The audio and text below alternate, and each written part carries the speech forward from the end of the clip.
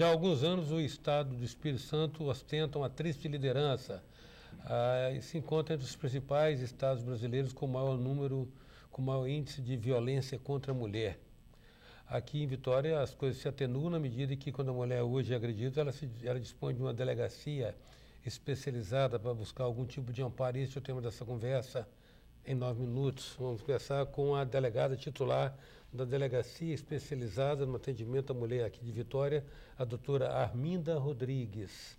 Doutora Arminda, qual a média de, de denúncias recebidas mensalmente em sua delegacia? Nós temos recebido uma média de 100 a 120 é, mulheres né, mensal. Isso dá uma faixa de quase que 8 a 10 por dia. É, e, é, é, no caso, toda denúncia evolui para o inquérito? 90% dessas ocorrências evolui para o inquérito. Hoje, por exemplo, nós estamos com uma faixa, fechamos 2012 com a faixa de 1.600 boletins de ocorrência e tivemos 1.100 inquéritos instaurados, quer dizer, quase que 80, mais de, de 80%. E no caso de agressão, de, de, das denúncias, elas se referem à agressão verbal, agressão física, agressão moral? Qual tipo de agressão? É, nós temos assim uma diversidade de, de agressões, né? É, a gente tem notado que um, índice maior, na realidade, não é de agressão física, são de agressões verbais e ameaça, né? Aquela que deixa marca na alma. E eu acho que por entender, por pensar que somente vai preso se agredir fisicamente, tem sido mudada essa tática no sentido de que os homens agora eles às vezes não batem, mas diminui a capacidade psicológica da mulher ao ponto, né, reduz essa capacidade. E ele pensa que isso não é um crime. Agora, qual é o encaminhamento dado no caso de uma agressão dessa? Uma agressão, é, é uma agressão psicológica, no caso, a mulher vai lá e relata que foi acusada, foi xingada, né? Qual é o procedimento? O que, que vocês pois fazem? É, nós temos, a, além da gente fazer aquele procedimento criminal, né, que é o registro do boletim, que é o próprio inquérito, ouvir a vítima e o indiciado, a gente também faz esse encaminhamento para que ela possa estar fazendo esse acompanhamento junto à Casa do Cidadão, onde temos lá um acompanhamento psicológico, assistente social e psicóloga, que vai estar conversando com essa mulher, com esse marido, né? A própria justiça, a juíza mesmo da vara é, exclusiva de violência da mulher, quando ela dá uma decisão, ela, uma das decisões que vem na medida protetiva é que esse homem compareça ao assistente social e à psicologia para que para fazer esse acompanhamento. Isso já é uma praxe. Mas antes disso, ele terá comparecido também na delegacia para ser ouvido pela senhora. Não, sim, antes ela vai à delegacia, a gente faz esse procedimento e nós fazemos esse encaminhamento. E lá a juíza acolhe e como é a justiça que tem esses profissionais, ela faz esse acompanhamento por lá. A gente sempre faz esse encaminhamento. Vocês fazem lá a audição das partes? Isso, nós fazemos audições, o inquérito, pedimos prisões, caso necessário, né? conduzimos uhum. o homem. Uhum. Todo esse Mas no, trabalho, na, na delegacia não ocorre um esforço de conciliação ainda não? Não, nós não temos, na realidade, um, um tempo porque Sim. são muitas ocorrências. Sim. Então a gente tem o tempo suficiente de estar tá fazendo aquele trabalho ali. Nós não conseguimos fazer essa conciliação. Nós temos junto à promotoria um, um vamos dizer assim, a promotoria também tem alguns assistentes social psicólogos que ajudam a fazer essa conciliação. Agora, veja bem, do, da partir do momento que a partir do momento que a mulher oferece, faz uma denúncia, registra uma queixa, é, instaura-se um, um, procedimento, né? Durante esse tempo, até que, ela, até que o marido, o agressor, seja chamado a juiz, ela não fica um tanto quanto a mercê do, do agressor? Pois é, é, normalmente quando as mulheres, aquelas que são agredidas e que estão casadas com os maridos, a gente faz aquele pedido de, de medida protetiva de afastamento do homem ao lar. Esse pedido ele vai para a juíza dentro que no mesmo dia ou no máximo no dia seguinte. E dentro de 48 horas essa juíza ela tem o dever legal de estar tá, é, dando uma, uma decisão. E isso tem ocorrido normalmente no máximo 10, 15 dias esse essa decisão chega, esse afastamento dele do lar. Né? Então, muitas vezes a gente não chama o cidadão logo em seguida, porque às vezes ela, elas vão à delegacia sem que eles saibam. Então, assim que a juíza decreta a medida protetiva, a gente já intima ele, a não ser aqueles casos mais graves que a gente busca no mesmo dia, na mesma hora, né? E uhum. aí ele já fica sabendo, nós mesmo damos um intimato para ele, você sai espera a decisão judicial e se você voltar, você vai preso. E tem sido eficaz esse tem procedimento? Sido eficaz, tem, tem sido bastante eficaz. A não ser aqueles casos em que as próprias mulheres resolvem dar uma segunda chance e aí elas mesmas convidam, eles conversam e eles voltam para casa sem que a justiça fique sabendo. Aí é que, aí é que mora o perigo, né? Aí pode ser que tenha uma, uma nova recaída e, e que possa ocorrer uma coisa mais grave. Mas normalmente isso tem eficácia. Mas na sua experiência, aí a questão de feeling, sensibilidade feminina também, esta segunda chance não, não tem funcionado? Não, muitas vezes tem. Essa segunda chance, quando é feita junto a esse acompanhamento psico, psicossocial, ele uhum. tem um bom efeito. Agora, os dois sozinhos não conseguem. Né? Normalmente, quando o homem se dispõe, aí a, a psicóloga, aí a, a assistente social, junto com a mulher, fazer esse tratamento, isso aí dá resultado. Agora, quando os dois, por conta e risco, não, não dá certo. Aí volta aquele reencaminhamento para a delegacia de novo, volta para a fila, vamos dizer assim, começa tudo outra vez.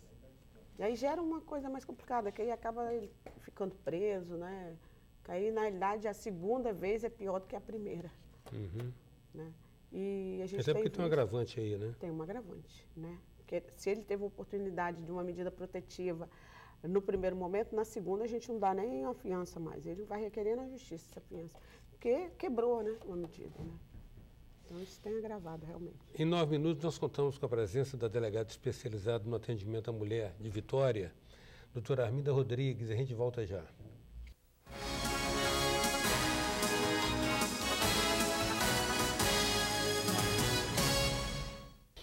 Voltamos com nove minutos, que traz hoje a presença da delegada especializada no atendimento à mulher na delegacia de Vitória, doutora Arminda Rodrigues. Doutora Arminda, é, o número de agressões, denúncias, a senhora falou aí na faixa de mais 100, 110 por mês, né?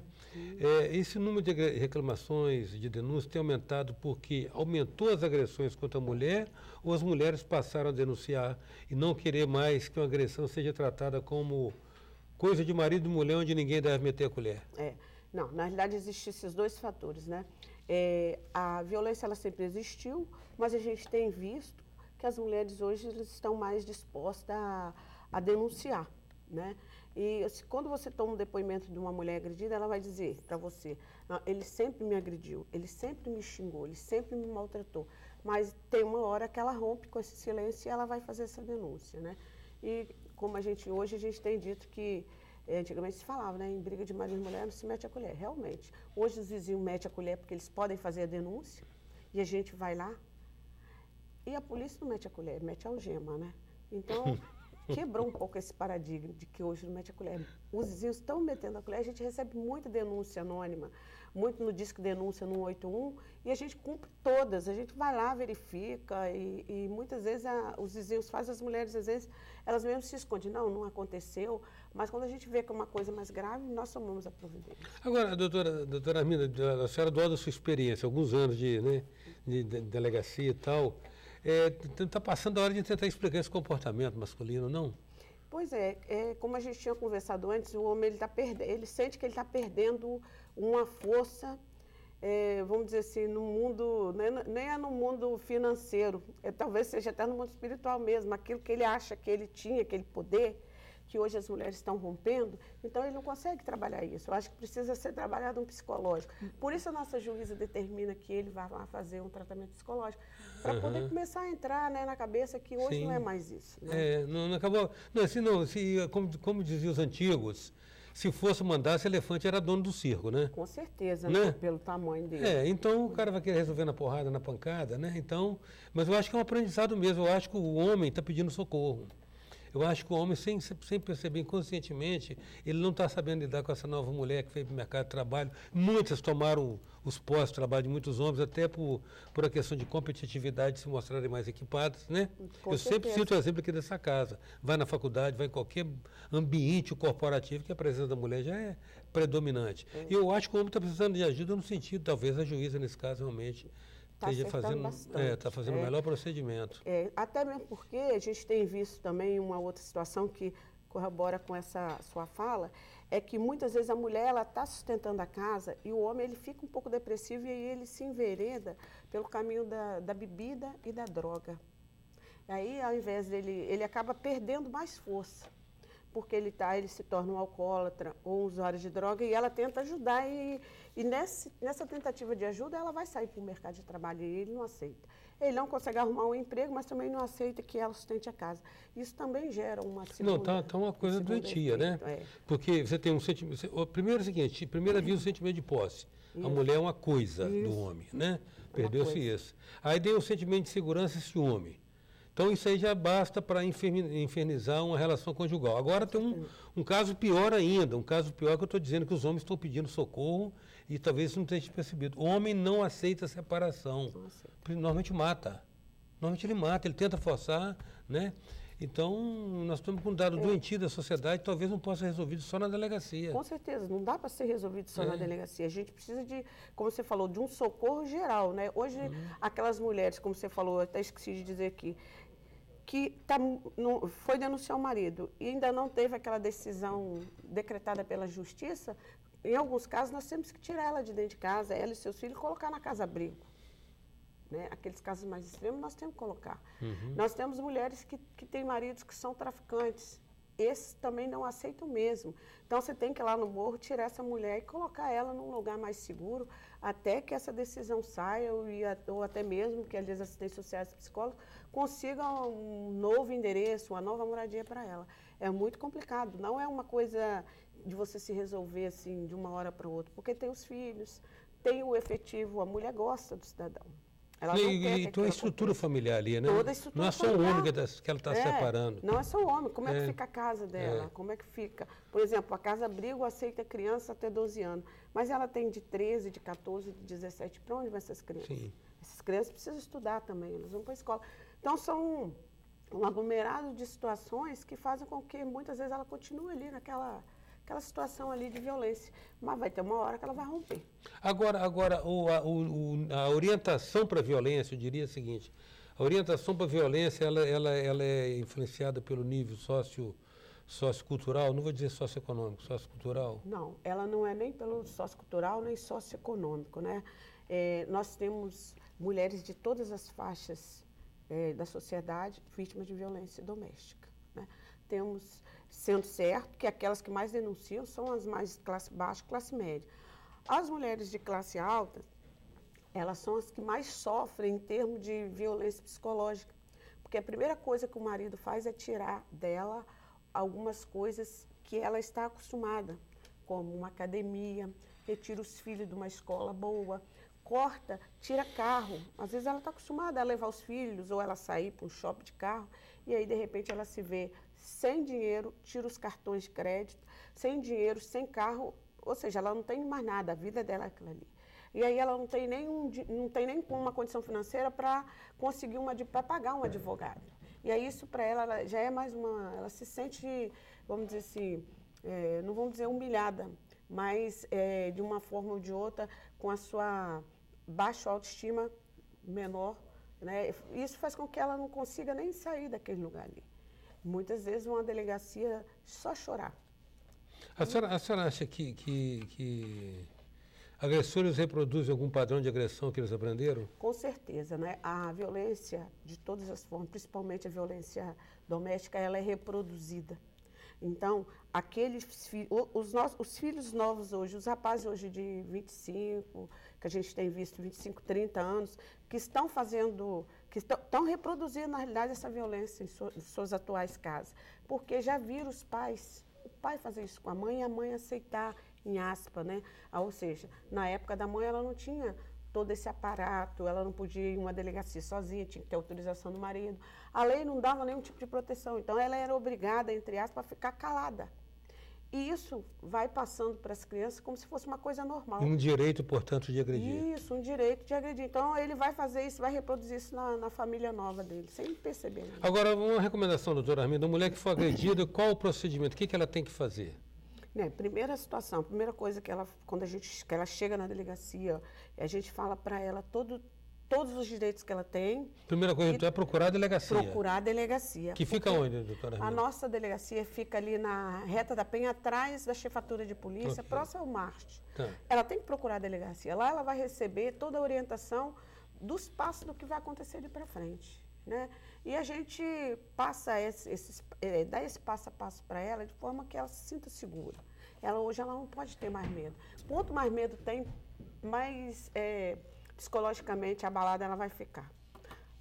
A orientação: procure uma delegacia mais próxima do seu bairro. Cada município tem uma delegacia DEAN.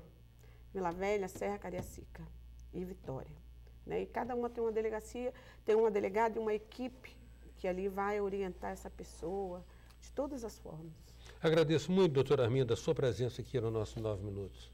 É, nós também agradecemos e a gente deixa aqui que é muito importante você, a gente estar tá participando desse tipo de debate, porque as pessoas aí, elas começam, elas também vão aprender e conhecer os direitos. Muitas que não vão à delegacia, que não iam, com certeza já vão estar tá ligando para estar tá pegando algumas informações e pode ligar que a gente. E não precisa tá ser agressão física, não, xingamento também. Xingamentos, pressão psicológica, perturbação da tranquilidade, excesso de ligação de telefone, e-mail qualquer tipo de violência. A própria mulher sabe quando ela está sofrendo uma violência. Grato novamente, doutora Arminda.